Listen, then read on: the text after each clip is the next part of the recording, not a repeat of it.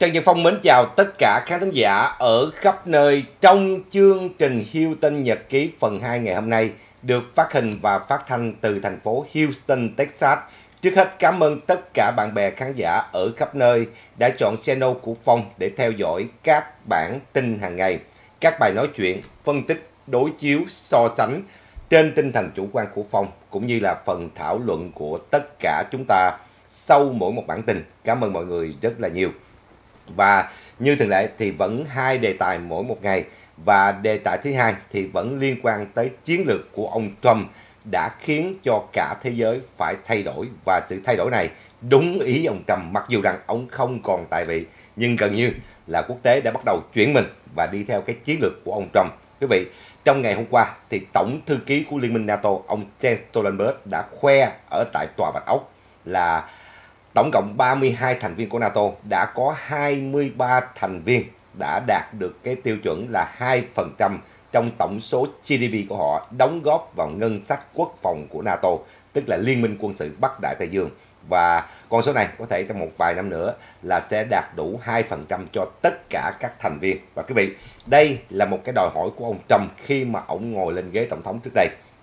Và kết quả thì bây giờ quý vị cả thế giới phải chạy theo cái à, chiến lược của ông Trump là tăng cường ngân sách quốc phòng để mà bảo đảm cho cái à, chủ quyền an ninh của quốc gia mình đó là một trong những cái à, à, chiến lược mà ông Trump đã đưa ra và đã cố gắng thực hiện trong cái giai đoạn của ông cầm quyền. Tuy nhiên thì thời điểm đó đám truyền thông Hoa Kỳ nó tấn công ông Trump bằng mọi góc cạnh khiến cho đám Âu Châu có thành kiến lừng khừng không đi theo chiến lược. Nhưng bây giờ thì hầu hết đều chạy theo cái chiến lược của ông Trump Joe Biden chỉ là kẻ ăn theo cái chiến lược của ông Trump mà thôi. Quý vị, chúng ta lướt qua bản tin trước đi. Ok. Lãnh đạo NATO cho biết là có thêm thành viên đã đạt được 2% trong tổng số GDP dành cho ngân sách quốc phòng. Đó là một trong những cái lời à, nói của ông à, À, à, à, Stoltenberg à, giữa lúc mà Nga đang có bãi chiến trường ở tại Ukraine và căng thẳng giữa Trung Quốc và khối Tây phương gia tăng. 23 trong tổng số 32 thành viên đã đạt được cái ngân sách quốc phòng của họ trong năm nay theo tường trình của Tổng thư ký Liên Quốc là Jens Stoltenberg cho biết và trên à, đã gia tăng 2 phần 3 à, so với trước khi có cuộc chiến tại Ukraine. Âu Châu đã bắt đầu tăng cường cái chi phí quốc phòng của họ ở mức ca độ cao. Ông à, lãnh đạo của NATO đã phát biểu ngày thứ hai trong một cái viện nghiên cứu chiến lược tại Washington. Trong đó ông chỉ ra là 5 năm trước đây thì dưới 10 thành viên đạt được cái tiêu chuẩn là 2% trong tổng số tổng tổng sản lượng nội địa của họ cho vấn đề của quốc phòng. Đồng thời ông cũng đã ca ngợi cả à, các đồng minh trong Âu Châu và Canada đã cung cấp à, gần như là phân nửa các cái hỗ trợ quân sự cho Kiev mà trong đó có một cái um, chiến dịch lâu dài là khoảng 40 tỷ e-, euro tức là 43.37 tỷ Mỹ Kim mỗi một năm dành cho Ukraine và à, liên minh này đang tìm cách gọi là hỗ trợ cho phía của Ukraine. Và đây là, là một trong những lời phát biểu mà ông Jens Stoltenberg đưa ra. Và quý vị như vậy thì à, chúng ta nhắc lại cái giai đoạn của ông Trump cầm quyền. Những gì ông muốn thì à, bây giờ gần như cộng đồng quốc tế đã bắt đầu phải đáp ứng. Trước khi mà ông quay trở lại chiến trường và đây cũng là dấu hiệu cho thấy là quốc tế dự đoán ông Trump sẽ quay trở lại chính trường ngồi vào tòa bạch ốc thay vì là Joe Biden. Do đó họ bắt đầu điều chỉnh chính sách ngay từ bây giờ và trước đó một thời gian họ đã bắt đầu điều chỉnh chính sách của họ để phù hợp với lại cái chính phủ mới của Hoa Kỳ sau cuộc bầu cử năm 2024. Tại sao tôi nói như vậy? Ok quý vị, chúng ta nhìn lại cái quá trình của ông Trump làm tổng thống 4 năm. Rồi chúng ta xem lại trong quá trình một năm trở lại đây, hơn một năm trở lại đây thì quý vị quốc tế đã thay đổi như thế nào? Và những thay đổi này, nó có liên can gì tới ông Trump hay không? Hay là nó là công trạng của Joe Biden? Joe Biden chỉ là kẻ ăn theo chính sách của ông Trump mà thôi. Ok quý vị, tôi phân tích cho quý vị thấy. Thứ nhất, ông đòi NATO, tất cả các thành viên, lúc đó chỉ có 30 thành viên, chưa có thêm hai thành viên là Thụy Điển và Phần Lan. Thì quý vị, ông đòi NATO là phải tăng ngân sách quốc phòng, tối thiểu là 2% trong tổng số GDP của họ thì lúc đó, ông, quý vị còn nhớ là đám NATO dỗ bàn đi ra rồi. Quý vị, thứ hai, ông đặt câu hỏi, tại sao không mua năng lượng của Hoa Kỳ? Mà đi mua năng lượng của Nga, lệ thuộc vào Nga, và bị Nga uy hiếp. Đây là điều thứ hai. Điều thứ ba, thì quý vị, dưới thời của ông, ngoại trưởng Hoa Kỳ Mike Pompeo liên tục bay tới Á Châu để thuyết phục các quốc gia Á Châu. Và trong đó, cái quốc gia mà họ coi trọng nhất là Philippines. Lúc đó, dưới thời của Duterte nhiều lần Mike Pompeo đã giải thích với Philippines về cái hiệp ước đồng minh năm 1951 là Hoa Kỳ có trách nhiệm bảo vệ lãnh thổ của Philippines, kể cả những khu vực tranh chấp. Trong khi đó thì Duterte thì rất giận Hoa Kỳ trong cái biến cố năm 2012 dưới thời của Obama khi mà Trung Quốc bất ngờ chiếm cái bãi cạn Scarborough của Philippines. Thì quý vị, lúc đó Obama viện cớ viện cớ là Hoa Kỳ chỉ bảo vệ cái phần lãnh thổ của Philippines, phần tranh chấp Hoa Kỳ không xen vào. Và điều này dẫn tới Duterte đã chuyển cái chính sách của của Philippines thân với Trung Quốc, thân với Bắc Kinh. Và nhiều lần ông Mike Pompeo đã bay tới Philippines để mà thuyết phục Philippines là không nên à, thân cận quá với Trung Quốc và nhắc lại cái hiệp ước đồng minh năm 1951. Thì quý vị, khi mà ông Mike Pompeo giải thích ở cái năm sau cùng trước khi ông Trump rời khỏi nhiệm kỳ thì Duterte có vẻ là đã bị thuyết phục và Duterte thấy được sự thân cận với Trung Quốc không có lợi. Những lời cam kết của Trung Quốc chỉ là những lời hứa hảo. Do đó, quý vị nhớ gần một năm sau cùng, Duterte bỏ mặt cái vấn đề gọi là à, tranh chấp trên chủ quyền và ông ta phó mặt cho Bộ Ngoại giao và Bộ Quốc phòng tự quyết định. Ông ta không xen vào. Ông ta không xen vào và ông ta vẫn duy trì cái hiệp ước mà viếng thăm của hai quốc gia giữa Hoa Kỳ và Trung ờ, và Philippines. Thì quý vị, Duterte mềm dẻo rồi, nhưng mà ông ta vẫn giận cho cái biến cố năm 2012. Do đó, ông ta đã vẫn giữ cái thái độ như vậy. Cho tới khi ông Ferdinand Marcos Jr. là làm tổng thống thì quý vị, tình hình Philippines đã thay đổi hoàn toàn. Thay đổi hoàn toàn, Philippines ngã hẳn về phía Hoa Kỳ và bắt đầu cho phép Hoa Kỳ được trú quân à, một cách gọi là không có thường trực, ê, không có lâu dài trên lãnh thổ Philippines. Tổng cộng 9 căn cứ Hoa Kỳ có thể sử dụng, nhưng mà ngắn hạn chứ không phải là lâu dài, tức là rotation. Thì quý vị, Philippines ngã hẳn về phía Hoa Kỳ. Thì quý vị thấy Âu Châu bây giờ tăng ngân sách quốc phòng 2%. Rồi Philippines thì ngã hẳn về phía Hoa Kỳ. Chưa hết. Quý vị nhớ ông Trump lên, ông mở cuộc chiến mậu dịch với Trung Quốc. Ông mở cuộc chiến mậu dịch với Trung Quốc, ông đấu với Trung Quốc và ông áp lực phía Âu Châu là phải đáp ứng cái uh, chiến lược của Hoa Kỳ. Đám Âu Châu lần khẩn, Ông giận và ông đã áp thuế lên mặt hàng của Âu Châu. Để mà ông lấy danh nghĩa là mất quân bình cán cân mậu dịch giữa Âu Châu và Hoa Kỳ. Ông Trump đã áp thuế lên một số mặt hàng của Âu Châu. Thì quý vị, ông Trump đã đánh rất mạnh vào kể cả đồng minh của mình. Khi mà ông áp lực đám Âu Châu là đứng về phía Hoa Kỳ để mà hỗ trợ cho Hoa Kỳ trong việc đối phó với Trung Quốc. Thì quý vị, đám Âu Châu không làm. Đám Âu Châu hoàn toàn không làm gì cả. Thậm chí là họ còn ra mặt chống đối ông Trump. Trong cái việc mà ông họ cản ông Trump là không nên mở cuộc chiến mậu dịch với Trung Quốc. Và kết quả bây giờ, Âu Châu áp thuế lên tới 38.1% vào mặt hàng xe điện của Trung Quốc. Âu Châu bây giờ phải hợp tác với Joe Biden để mà kiểm soát cái nguồn semiconductor kiểm soát cái nguồn supply chain, tức là cái nguồn cung cấp trên toàn cầu. Thì các vị lúc đó ông Trump đã nói trước. Ông Trump áp lực Âu Châu, ông Trump nói rồi, không nên lệ thuộc năng lượng vào Nga, không nên lệ thuộc nguồn nguyên liệu và tất cả sản phẩm từ Trung Quốc. Nhưng đám Âu Châu bất chấp lời của ông Trump. Nhưng bây giờ thì sao quý vị? Bây giờ Âu Châu phải bảo hộ cho ngành xe hơi. Đánh thuế lên tới 38.1% vào mặt hàng của xe điện của Trung Quốc thì quý vị, đám Âu Châu đã nhận ra ông Trump đúng. Và bây giờ họ đi theo cái chiến lược mà ông Trump đã đặt ra. Joe Biden chỉ là kẻ ăn theo thôi.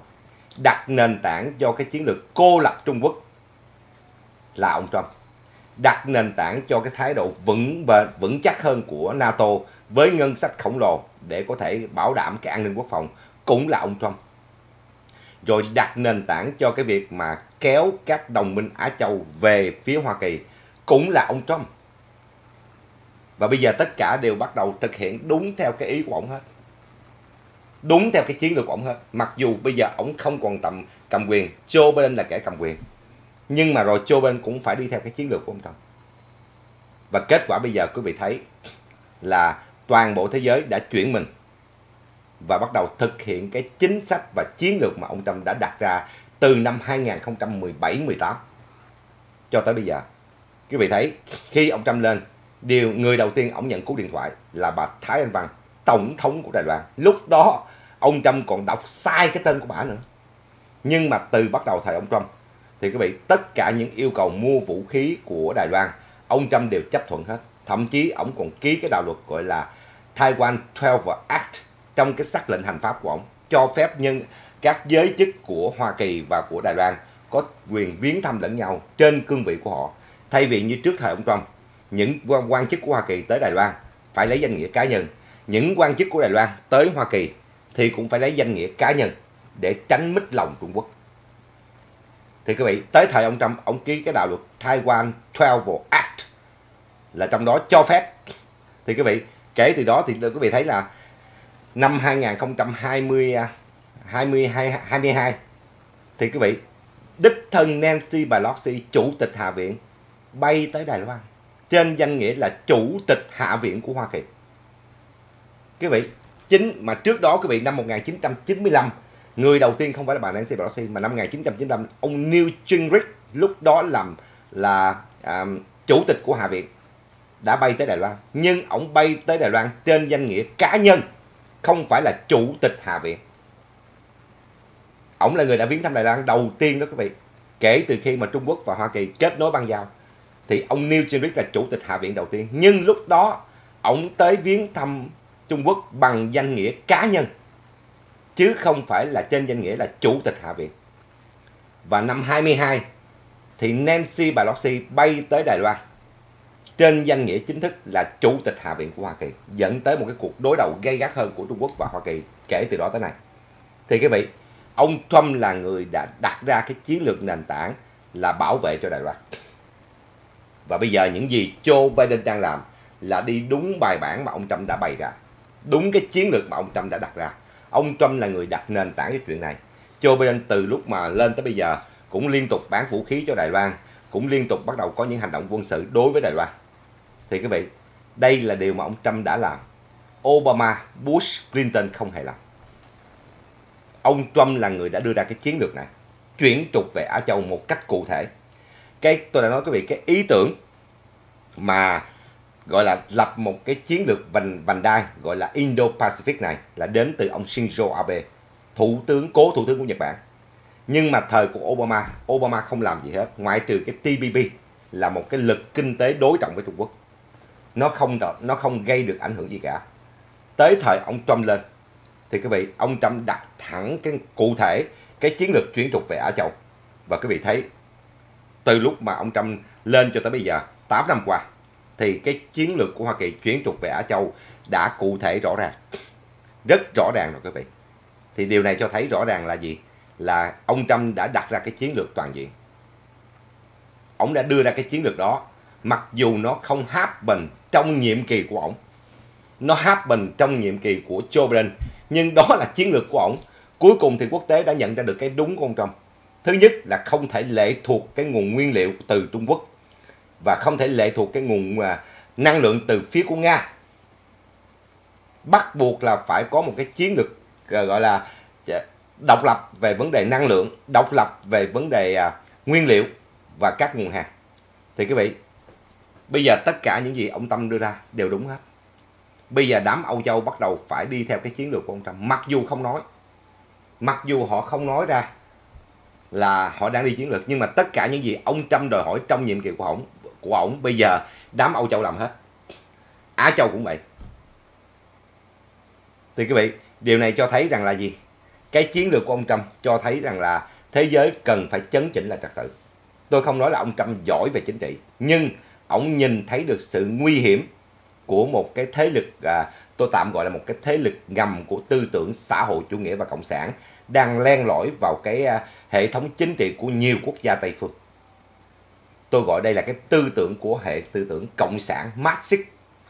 Nó đã đội nó đã đội lốt bằng cái tên khác rất đẹp đẽ để nó bắt đầu len lỏi vào hệ thống chính trị của nhiều quốc gia thuộc và khối Tây phương và dân chủ. Và ông Trump nhìn thấy được cái sự nguy hiểm này nó đang tàn phá các cái xã hội. Do đó quý vị, ông mới ra ông tranh cử. Và khi ông tranh cử thì ông áp đặt tất cả những chính sách rất cứng rắn trong đối ngoại. Giờ tôi mình không nói vấn đề đối nội, mình nói vấn đề đối ngoại thôi. Thì quý vị, ông áp đặt rất cứng rắn kể cả với đồng minh. Từ ở Âu Châu, ông đánh thuế lên tất cả mặt hàng của Âu Châu. Trung Quốc thì khỏi nói rồi. Ngay cả Nam Hàn, quốc gia được xem đồng minh thân cận nhất của Hoa Kỳ tại Á Châu sau Nhật, ông bắt Nam Hàn phải chi 5 tỷ Mỹ Kim cho cái vấn đề trú đóng 28.500 binh sĩ của Hoa Kỳ ở tại Nam Hàn. Thì quý vị, lúc đó Moon Jae-in, tổng thống của Nam Hàn, lần khẩn và lén đi đêm với Trung Quốc để tránh áp lực từ ông Trump. Kết quả bây giờ, Nam Hàn không những phải chi rất nhiều tiền cho quốc phòng, mà còn đi năn nỉ Hoa Kỳ là lắp đặt các cơ sở nguyên tử của Hoa Kỳ trên lãnh thổ của Nam Hàn. Tức là những cái bể bệ phóng nguyên tử và kể cả các cái tiềm thủy đỉnh nguyên tử và kể cả các bomber tức là quanh tạc cơ có khả năng mang theo đầu đạn nguyên tử tới Nam Hàn. Sau khi mà Bắc Hàn bắt đầu có những cái hành động đe dọa, ông Trump đã nói trước, quý vị mềm dẻo và quý vị để cho cái tư tưởng Marxist đó nó len lỏi vào, nó làm mềm tất cả mọi thứ đi, thì quý vị đang tạo cơ hội cho kẻ thù và những uh, quốc gia đe dọa tới an ninh toàn cầu, nó có cơ hội, nó lấn sân. Do đó, ông Trump đã chặn trước ngay từ lúc đó nhưng mà đám quốc tế và đám Âu Châu rồi những cái chính quyền thời đó của Á Châu đều không lắng nghe ông Trump. Họ đều tiếc nuối cái giai đoạn mà gọi là hợp tác đa chiều. Vừa làm ăn với Trung Quốc, vừa làm ăn với Hoa Kỳ. Quá thơm, quá ngon. Họ không thấy được cái hậu về sau. Họ không thấy được cái hậu về sau, tất cả bị Trung Quốc kiểm soát hết. Cho tới khi ông Trump lên, ông đánh một phát một trong 4 năm. Nói 4 năm thì không đúng, 3 năm. 2018, 2018, 2019, 2020. Thì quý vị, bây giờ chúng ta mới vỡ chúng ta mới vỡ, vỡ ra và thấy được cái tiềm năng đe dọa nguy hiểm của Trung Quốc. Không những họ đánh cắp những sản phẩm trí tuệ của Âu Châu, của Hoa Kỳ, của các đồng minh Tây phương mà họ còn âm thầm bắt đầu kiểm soát tất cả những cái khoáng mỏ.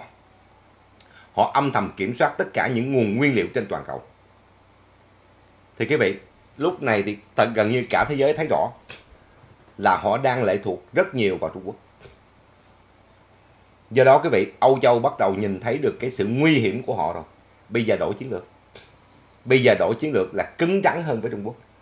Và bắt đầu đi tìm kiếm cái nguồn nguyên liệu không phải nằm ở Trung Quốc. Bây giờ bắt đầu mở rộng qua Ấn Độ, Á Châu, thậm chí là bây giờ bắt đầu mon men lại khu vực của Phi Châu và Trung Đông. Quý vị, những gì ông Trump đã làm năm trong à, uh, 3 năm 17, 18, uh, 18, 18, 19 và 20 thì bây giờ quý vị cả thế giới đều chứng kiến. Do đó tôi nói là bây giờ gần như là cả quốc tế đang tự điều chỉnh chính sách theo ý của ông Trump. Thứ nhất là họ thấy ông Trump đúng. Thứ nhất họ thấy là ông Trump đã đúng khi mà họ lệ thuộc quá nhiều vào Trung Quốc và Nga. Sự nguy hiểm này họ không nhìn ra. Và thứ hai, quý vị, họ đang dọn đường cho việc ông Trump trở lại chính trường. Tất cả những lãnh đạo quốc tế đều dự đoán đều dự đoán là ông Trump sẽ chiến thắng cuộc bầu cử năm 2024 và bây giờ họ đang dọn đường cho sự quay trở lại của ông Trump. Tức là họ không muốn bị uh, xảy ra vấn đề đối đầu giống như những năm trước. 2017 khi ông Trump lên nhận chức, họ bị cái đám truyền thông ở Mỹ bơm độc. Đám truyền thông khuynh tả ở Mỹ bơm độc. Họ đứng ra đối đầu với ông Trump. Thậm chí quý vị còn nhớ cái phiên họp của NATO năm 2018 quý vị lúc đó gần như là họ vỗ bàn đi ra luôn người dẫn đầu là ai là Angela Merkel thủ tướng của Đức khi ông Trump đặt câu hỏi thứ nhất tại sao quý vị không mua năng lượng của của chúng tôi mà quý vị đi mua của Nga và tại sao quý vị cam kết từ năm 2015 là quý vị sẽ tăng ngân sách quốc phòng lên 2%. Thì quý vị đến câu hỏi thứ hai là Angelina Marco dỗ bạn đi ra ngay tại Brussels ngay tại tổng đàn của NATO. Có nghĩa là quý vị, họ thấy rằng là ông Trump không biết gì hết. Ông Trump giống như là một kẻ múa loạn chiêu, không biết gì cả. Và họ bất chấp luôn, họ bất hợp tác với ông Trump luôn. Và bây giờ, bây giờ họ gần như là đi theo cái chiến lược của ông Trump. Và bây giờ họ đang tự điều chỉnh các cái chính sách của họ để phù hợp khi ông Trump trở lại chính trường. Tại vì họ biết họ không thể đối đầu với ông Trump. Họ đã sai. Khi họ chọn thái độ đối đầu với ông Trump chỉ vì nhiễm độc bởi những tàng những ra cái đám truyền thông khuynh tả ở đây. Nó tấn công ổng mỗi ngày. Từ ở năm 2017 cho tới khi ổng rời khỏi nhiệm kỳ, nó chưa bao giờ dừng lại. Nó tấn công ổng liên tục và đám Âu Châu này bị brainwash bởi đám truyền thông đó. Nó đâm ra có ác cảm, nó bất hợp tác với ông Trump nhưng bây giờ thì sao quý vị? Bây giờ tình hình thay đổi. Thứ nhất, khi mà Nga tấn công Ukraine, họ nhận ra được sự nguy hiểm sự nguy hiểm không những là an ninh quốc phòng của Âu Châu mà ngay cả cái à, à, cái nội lực và cái căn bản phát triển kinh tế của họ đang bị uy hiếp bởi vì họ lệ thuộc các nguồn khí đốt, dầu hỏa, than đá từ phía của Nga. Thì quý vị, họ nhận ra được. Và bây giờ quý vị, khi mà Joe Biden bắt đầu thúc đẩy một cái chiến lược của ông Trump là bắt đầu dần dần cô lập Trung Quốc, thì họ phát hiện ra bây giờ họ lệ thuộc vào rất nhiều nguồn nguyên liệu, nguồn hàng từ Trung Quốc. Thì quý vị, Âu Châu bây giờ bắt đầu nhận ra được sự nguy hiểm của họ. Do đó, thứ nhất là họ thấy rằng ông Trump đã đúng, họ đã sai. Và thứ hai, họ cũng dọn đường không muốn đối đầu với ông Trump khi ông trở lại chính trường. Do đó, toàn bộ Âu Châu, Á Châu đều đã thay đổi chính sách. Đều đã thay đổi chính sách. Rất rõ ràng. Thì quý vị, chúng ta nhìn thấy cục diện này chưa kể cục diện của Trung Đông. Cục diện của Trung Đông ai cũng nói ông Trump. Ai cũng nói ông Trump là có thể sẽ tạo ra một cái à, biển máu ở tại Trung Đông khi ông quyết định dời tòa đại sứ của Hoa Kỳ từ ở Tel Aviv về Jerusalem.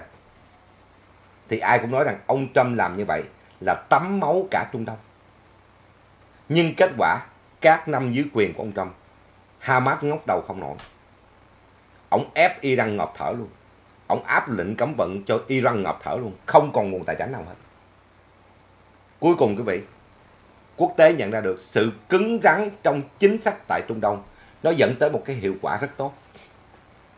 Và cuối cùng bây giờ quý vị lên tới cho bên mềm dẻo, mua hàng bên này chút, mua hàng bên này chút, mua hàng bên này chút. Kết quả Kết quả thì Iran bây giờ là là một trong những quốc gia tiếp tế nguồn vũ khí cho Nga. Iran là cái quốc gia đã bắt đầu có khả năng điều khiển tất cả mạng lưới dân quân Hồi giáo cực đoan ở tại Trung Đông và Do Thái bị tấn công. Do Thái bị tấn công vào tháng 10 của năm ngoái, dẫn tới cuộc chiến ngày hôm nay diễn ra ở Gaza và đang có khuynh hướng mở rộng tới phía bắc của Do Thái, tức là miền Nam Lebanon. Quý vị, cái thái độ mềm dẻo trong chính sách đối ngoại của Joe Biden đã mang tới sự một cái hậu quả là một thế giới bất ổn. Nga tấn công Ukraine, Trung Quốc bắt đầu diều hâu ở Á Châu và Trung Đông thì đám Hồi giáo à, được xem là cực đoan, các tổ chức khủng bố quậy tưng bừng ở Trung Đông. Trong khi đó, ông Trump muốn đi một chính sách cứng rắn. Lúc ông cầm quyền thì đám này phản đối. Nhưng bây giờ chính đám này nhận ra được ông Trump đúng. Phải cứng rắn thì mới trấn áp được. Phải cứng rắn thì mới uy hiếp được và mới thương thảo được. Còn mềm dẻo là chỉ mua một cái đoạn ngắn của một cái giai đoạn hòa bình hay là ổn định thôi. Rồi nó sẽ bùng phát trở lại và còn mạnh mẽ hơn. Do đó bây giờ quý vị, đám Âu Châu đã bắt đầu nhận ra được vấn đề. Họ nhận ra được vấn đề sự uy hiếp của Nga, sự uy hiếp của Trung Quốc và cái tiềm năng bất ổn Trung Đông, Á Châu nó có thể dẫn tới những cái hậu quả mà họ không lường trước được. Nếu tiếp tục cái đường hướng được xem là mềm dẻo và nhu, được gọi là gì quý vị dễ thương như à, mềm dẻo mà tôi gọi là nhu nhược. Do đó quý vị, gần như bây giờ các quốc gia từ Âu Châu sang Á Châu đã bắt đầu điều chỉnh chính sách. Một phần do thay đổi cái hệ thống chính trị. Nam Hàn là ông Yun Suk Yeol trở nên cứng rắn hơn. Rồi tới phiên Đài Loan thì vẫn tiếp nối cái chiến dịch cũ là ông Lai Ching-te vẫn chiến thắng, vẫn có một thái độ cứng rắn. Philippines, Ferdinand Marcos Jr. trở thành một nhân vật cứng rắn đối đầu với Trung Quốc. Bây giờ chỉ còn lại Malaysia là Ibrahim à, Anwar Ibrahim. Anwar Ibrahim của Malaysia bây giờ đang trong hai hàng là do cái chính sách của Joe Biden. Nhưng khi ông Trump lên thì Anwar Ibrahim, thủ tướng của Malaysia cũng sẽ phải thay đổi. Cũng sẽ phải thay đổi. Là phải chọn một phía. Và quý vị thấy bên à, Ấn Độ, ông Modi vẫn chiến thắng Ông là đảng bảo thủ và ông vẫn chiến thắng và quý vị đừng quên Modi gặp Joe Biden trong cái kỳ mà hội nghị G20 rất bình thường. Rất bình thường. Trong khi mà ông Trump tới Ấn Độ, họ phải sử dụng toàn bộ một cái cầu trường về thể thao. Sức chứa lên tới 80.000 người. Để đón chào ông Trump. Tại vì họ thấy rõ sự cứng rắn của ông Trump trong chính sách về kinh tế, trong lĩnh vực về quân sự và kể cả về xã hội. Nó phù hợp với cái xã hội Ấn Độ. Xã hội Ấn Độ rất cứng rắn trong vấn đề xã hội. Do đó quý vị, họ đón chào ông Trump một cách vĩ đại, chưa từng có. Trong khi đó, Joe Biden đến dự hội nghị G20 trước khi bay qua Việt Nam. Quý vị còn nhớ là vừa rồi, cái vụ mà 911 năm ngoái thì Joe Biden đến Ấn Độ một cách rất bình thường giống như những lãnh đạo quốc gia khác thôi. Không có gì đặc biệt cả. Và kết quả ngày hôm nay quý vị, dân Ấn Độ vẫn ủng hộ cho đảng cầm quyền của Modi cho nhiệm kỳ thứ ba. Thì quý vị, họ thấy rõ là cái chính quyền cần phải cứng rắn. Tôi không nói đảng bảo thủ hay là đảng à, cấp tiến, nhưng họ thấy rõ ràng cái chiến lược cứng rắn là một cái chiến lược đang cần thiết nhất bây giờ không phải là thỏa hiệp không phải là mềm dẻo. Bởi vì tình hình bây giờ nó hỗn loạn và nó có nhiều biến động có thể xảy ra. Do đó quý vị các quốc gia thứ nhất họ bắt đầu nhận ra được sự à, đứng đắn của ông Trump tức là cái chiến lược của ông Trump đúng. Do đó họ bắt đầu thay đổi. Mặc dù sự thay đổi đó diễn ra dưới cái à, gọi là Biden watch tức là dưới cái triều đại của Joe Biden nhưng họ đang đi theo cái chiến lược mà ông Trump đã đặt ra. Và thứ hai là họ đang dọn được tại vì họ, tất cả cộng đồng quốc tế đều tiên đoán rằng ông Trump sẽ thắng. Chính vì vậy mà quý vị thấy thời gian gần đây, rất nhiều những lãnh đạo của thế giới và cựu lãnh đạo của thế giới liên tục bay qua Mỹ để gặp ông Trump. Họ dự đoán ông Trump thắng. Sau khi mà họ phát hiện ra chính họ đã bị bịt mắt bởi đám truyền thông khuynh tả tại Hoa Kỳ. Bây giờ họ có cái nhìn rõ nét hơn về Hoa Kỳ. Ít nhất họ biết được tại sao Hoa Kỳ lại chọn ông Trump và ít nhất họ biết rõ Hoa Kỳ có một nửa quốc gia ủng hộ cho ông Trump. Ít nhất là một nửa quốc gia. Tại sao tới một nửa quốc gia ủng hộ cho ông Trump? Không phải là một phần tư, không phải là một phần tám, mà một nửa nước Mỹ. Thậm chí bây giờ điểm ổng còn gác luôn cả Joe Biden. Họ cũng phải thắc mắc. Dân Mỹ nghĩ gì? Tại sao đám truyền thông đưa tin một kiểu mà thực tế lại một kiểu khác? Họ mướn những công ty độc lập đi research để coi dân Mỹ nghĩ cái gì. Và họ nhìn ra được, và họ phân tích lại tất cả cái quá trình ông Trump làm tổng thống 4 năm. Họ bắt đầu phát hiện ra cái sai của mình. Cái sai của họ là bởi vì bị bịt mắt bởi đám truyền thông phun tả ở Mỹ. Nó vẽ lên những bài bình luận, nó vẽ lên những lời bình luận, nào là tắm máu, nào là khủng hoảng kinh tế, nào là thị trường chứng khoán sẽ bị crash everything hết nhưng mà tất cả đều không xảy ra dưới thời đại của Trump. Kể cả cái trận nặng nhất là đại dịch cũng không khiến cho thị trường chứng khoán sụp đổ. Thì quý vị, họ đánh giá lại, họ phân tích lại, họ thấy rõ ràng cái chiến lược của ông Trump là đúng. Đã tới lúc thế giới phải viết lại cái trật tự. Cái trật tự đó là một cái một cái quy tắc cứng rắn, sẵn sàng trấn áp những mầm móng đe dọa và sẵn sàng đè bẹp, dập tan những cái nguy cơ về khủng hoảng kinh tế à, khủng hoảng về à, tài chính thì quý vị bây giờ họ thấy được cái chính sách đó đúng. Và bây giờ họ đang chuyển đổi các quốc gia bắt đầu chuyển đổi cái hệ thống chính trị chuyển đổi cái chiến lược của họ và cái chính sách của họ để phù hợp với giai đoạn này. Và cũng sẽ để phù hợp với lại cái chính sách mới một khi ông Trump quay trở lại chính trường. Họ đang dọn đường trước. Và họ thấy rằng cần phải điều chỉnh những cái sai lạc mà họ đã quyết định sai lầm 4 năm trước đây. Quý vị đó là một trong những cái gì mà tôi nhìn thấy được về cái uh, tình hình xoay chuyển của quốc tế.